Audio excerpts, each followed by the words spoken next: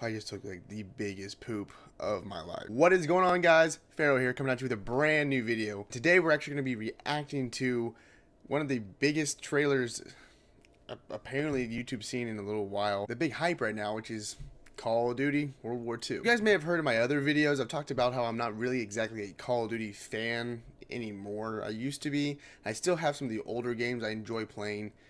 But, you know, since Advanced Warfare on, exosuits, the jumping around kind of like Halo, crazy weapons, the just you have to pay to to win. It's unnecessary and it's I've lost my respect for the franchise. But everybody in the community has been talking about they want boots on the ground, they want to go back to like Modern Warfare 2, World at War. This is what the community wants and it looks like this is what the community is going to get. Let's watch the trailer and find out. Before we get into this, go ahead and smash that like button if you enjoy this. If you're new to the channel, go ahead and subscribe for more below average content. You know, it's always the fun stuff over here. I'm trying to get a schedule that's actually working. It's out there, okay? It's it's out there. Go. Actual in-game footage.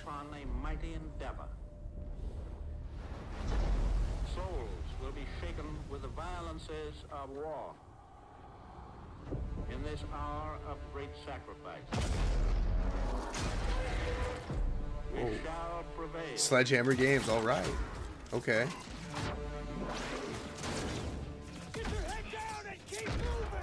Well, it looks pretty real. He had the sweat coming down his face there. Okay.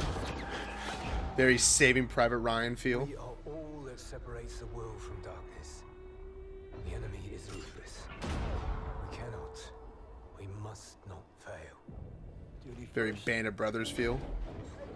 Okay.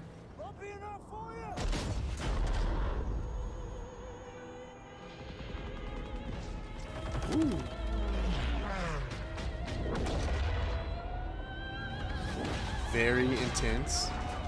I mean, this is Call of Duty for you. It's always going to be very intense. Casualties. We executed the mission. Get me the fuck out of here. How many? We had orders.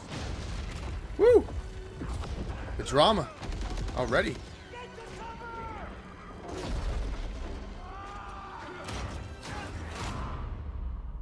Lieutenant, tell them what we're all about. No mission too difficult. No sacrifice too great. They're not messing around. This is pretty intense. You're a long way from Texas, farm boy. Call of Duty World War II. November 3rd. Okay. Okay. I see what you did, Sledgehammer. I see you realizing that uh, the community wants boots on the ground, kind of like Battlefield has always done, and you're trying to keep up with Battlefield two years into making, probably three by the time this comes out, and you're wanting to catch up to what Battlefield has already realized, and that was the community doesn't want crazy futuristic games. They want the old school. We had Call of Duty World at War, we had Call of Duty 1, 2, 3, Big Red One. I mean, come on, guys.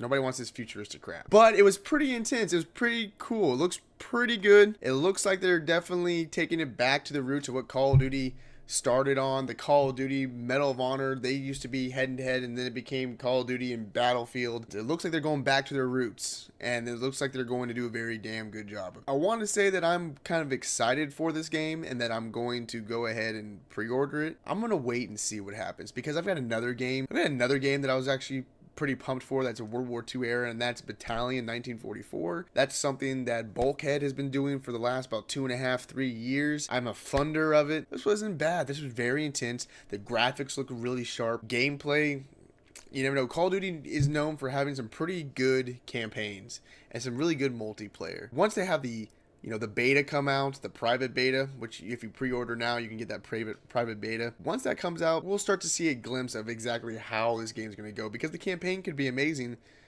or the campaign could completely suck. Everybody doesn't really care about the campaign. 90% of call of duty fans want to know how the multiplayer is going to work out. But guys thank you so much for checking out another one of these videos. Remember if you're having a rough day kick today in the butt. You're in charge of your life. Your life is not in charge of you at all, one bit. You're beautiful, you're awesome.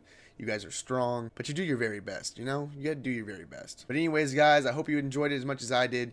It looks pretty good, but we're gonna have to see exactly how everything pans up the closer the release date comes. I love each and every one of you. Be safe, and I'll catch you in the next video. Peace!